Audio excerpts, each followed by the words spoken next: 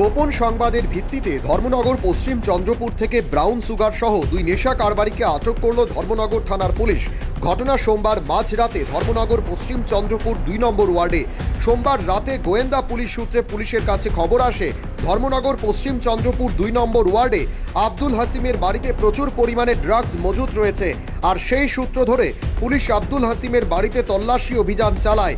তল্লাশি অভিযানে তার বাড়ি থেকে দুই প্যাকেট ব্রাউন সুগার, প্রচুর খালি কৌটো, একটি মোবাইল এবং নগদ পঁয়ত্রিশ হাজার টাকা উদ্ধার করে পুলিশের বিশেষ টিম, যার নেতৃত্বে ছিলেন জেলা পুলিশ সুপার ডক্টর কিরণ কুমারকে। একই সঙ্গে আটক করা হয় দুই ড্রাগস কারবারি আব্দুল হাসিম ও তাজা উদ্দিনকে। মহকুমা পুলিশ আধিকারিক দেবাশিস সাহা জানিয়েছেন, ধৃতদের বাড়ি থেকে চব্বিশ গ্রাম ব্রাউন সুগার সহ প্রচুর খালি কৌটো এবং নগদ পঁয়ত্রিশ হাজার টাকা উদ্ধার করা হয়েছে। এই দুই নেশা কারবারি দীর্ঘদিন ধরে ড্রাগস ব্যবসার সাথে যুক্ত রয়েছে বলে পুলিশের কাছে খবর রয়েছে। ধৃতদের নেশা সামগ্রী সহ আটক করে আনতে গেলে পুলিশের কাজে বাধা দেয় এক দল দুষ্কৃতী। খুব শীঘ্রই তাদের চিহ্নিত করে আইনের আওতায় আনা হবে। ধৃতদের বিরুদ্ধে এনডিপিএস ধারা ও তিনশো তিপ্পান্ন ধারায় মামলা রুজু করা হয়েছে। তবে এই ব্রাউন সুগারের মূল্য কত হবে তা জানা যায়নি। মঙ্গলবার ধৃতদের আদালতে তোলা হয়েছে।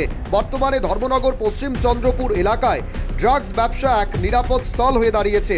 সেখানে অবাধে ড্রাগসের রমরমা ব্যবসা চালিয়ে যাচ্ছে নেশা কারবারিরা। তবে এই অভিযানের পর কিছুটা হলেও নেশা বাণিজ্যে বাধা সৃষ্টি হলো বলে পুলিশ সূত্রে খবর। আজকে, অর্থাৎ পাঁচ তারিখ, পাঁচ ডিসেম্বর, রাত্র অনুমানিক সাড়ে নটার সময় আমাদের কাছে একটা গোপন সংবাদ আসে। যে ওয়েস্ট চন্দ্রপুর আব্দুল হাসিম, এর বাড়িতে কিছু নার্কোটিক ড্রাগস আছে। সেই সংবাদের ভিত্তিতে আমরা যাই সেখানে। সেখানে গিয়ে সেটা ওর বাড়ি আমরা সার্চ করি। তো সার্চ করার পর আমরা ওর বাড়ি থেকে দুটো packet suspected to be heroin প্রায় চব্বিশ গ্রাম হিউজ পরিমাণে প্লাস্টিক ভায়েল পঁয়ত্রিশ হাজার টাকা ওর বাড়ি থেকে আমরা উদ্ধার করি। তো আমরা রেডে যাওয়ার পর আমাদের মানে ইনভেস্টিগেটিং অফিসার বা যারা রেডে ছিলেন মানে এলাকাবাসী যারা বাধাপ্রাপ্ত হয়। তো আমরা কিছু নামধাম পেয়েছি যারা সরকারি কাজে বাধা দিয়েছে।